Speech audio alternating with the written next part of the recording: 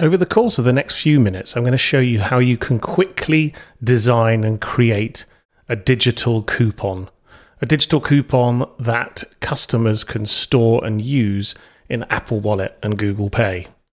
So I'm logged in at app.passkit.com and I've come to my dashboard. Now, if you've just recently signed up to app.passkit.com, you may not see as many projects as, as I have here, but you will see this button called New Project. I'm going to click on that button, New Project, and you can see I'm presented with three options. Now, these options will continue to grow in Passkit as more best practices are brought through the starter wizard. But this is the quickest way for you to get started with a digital card. You've got loyalty cards, you know, the sorts of things where you might be keeping track of points or money spent, membership cards, good use for identification, like joining a gym or a VIP program. Uh, you can attach a picture of the, the member on the card. But today we're going to focus in on coupons. So converting your paper coupons or your static email coupons uh, into live, engaging digital coupons uh, that sit within consumers' native wallet. Contactless coupons, indeed, as we see more and more people demanding no more paper, no more email, uh, no more printing, and being able to store things in an application that sits in their phone already. So let's click on next. In this case, you could see if you had started with something already, it would ask you if you want to continue with the draft that you'd already started. In this case, we're going to start over. Um, if you hadn't started one before, you won't see that message. Uh, and because we want you to get this coupon in your phone as quick as possible, so you can feel what it's like to have that digital coupon in your phone, you could just quick, you could just tap on continue, next, next, next on every page, and use the default images that we've set here uh, and the default fields, and then instantly see that in your phone, and then go back to it in the designer later. But in this case, I'm going to show you how you can upload your own images. Uh, select a couple of options that might be best appropriate for you and your digital coupon, just so you can do this and follow along with us. Okay, so let's click on continue. So you have the option to put your campaign details in here. So again, this is your text. So um, for this campaign, I'm going to be calling these June offers. Um, and these are Burger King's and then if you have a particular time zone that's relevant for your business, relevant for these coupons, you can choose from there. I'm just going to keep it in my current time zone. Click next. And then my first offer within that campaign, uh, this is, I'm going to give chicken sandwiches for 4.99 and then we just put chicken sandwiches Okay, and then any offer details that you want to appear on the pass itself on the digital coupon. Uh, we've put some example text here, but you can delete that, copy and paste over from your existing coupon campaigns, enter new text in here. Um, again, that is your free text to, to write in anything you want. You could delete all of that, overwrite it, use this as a baseline, whatever works for your coupon. Now I'm going to click on expiry settings. Now, individual coupons can be valid for up to 90 days. So when we choose the start date, the end date can be anything up to 90 days from there. So I think we're going to start, uh, let, you know, let's check here. We're going to start the coupon today. Um, and instead of ending on the 10th of July in a month's time, we're going to end it actually at the end of July uh, maybe I should have called it June and July offers, and redemption start and end date. So this means that I could start issuing my coupons, and then if it was okay for people to come in and use that coupon today, then I would start on the same date. Uh, let's take a look at that. I'm actually going to say they can come in and start redeeming the offer tomorrow. Redemption end date, we're going to say, is on the same as the uh, offer end date. A couple of expiry settings I can either expire on the redemption end date, I can expire on the offer end date. Um, I, can, if I'm integrating with other systems, I can provide that uh, when the coupon gets issued, or indeed I could say it's a fixed period after enrollment. So if I wanted to say someone has enrolled 30 days after that. Um, it, get, it, expires, uh, signs up for a coupon tomorrow, then 30 days after tomorrow would show as the expiry date. In this case, I'm just going to put expires on offer end date, so that'll be on the 31st of July. Right, let's carry on here.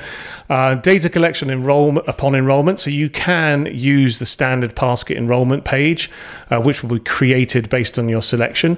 So if you did want to capture uh, unique personalized information when someone signs up for a coupon, you can choose out of these four within the wizard, and we will simply create that data collection page. Because this is a coupon, uh, I'm looking to drive people into my business. I'm not necessarily looking at this stage to pull unique information and learn more about my customer's name, birthday, email, or phone number. But you can do this. And indeed, if you want to get even more sophisticated, you can integrate uh, with your existing uh, CRM systems or other systems that you have client data if you want to do an integration with the PassKit API. I'm just going to quickly whiz through this and not do any data collection upon enrollment. And then find that is a better practice for coupons. Just get the coupon in the phone, and then you know you can take advantage of push messages, lots messages, and ultimately driving people into your business. So we click on that.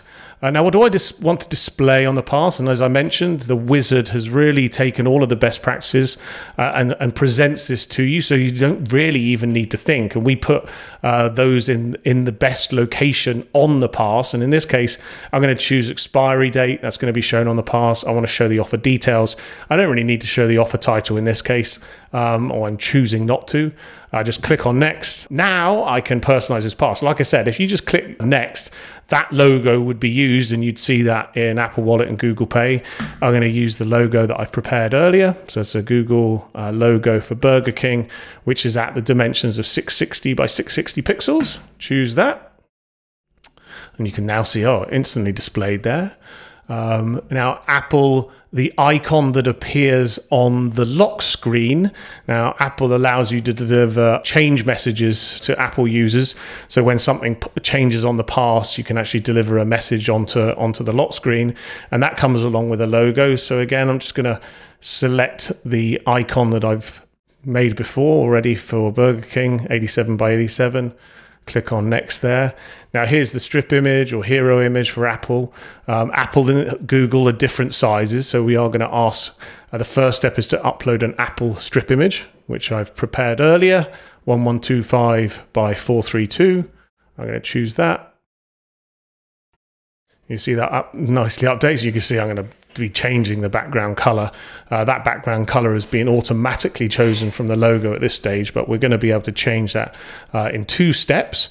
I then click to the next one, upload Google Hero image. So instead of cropping the Apple Hero image and not, it not looking perfect, we want you to have the perfection um, in each and every pass. So I've created a hero image for Google, which is 1032 by 336 pixels and I upload that largely the same just so I don't get any cropping on that image. You can see that here. So now it's uh, giving me a representation of what that pass looks like. Now this is where I choose the colors. So in this case, Burger King, I know they use a particular color that I can enter in here, um, or I can actually play around if that's it's about that color they typically use for their coupons at this site.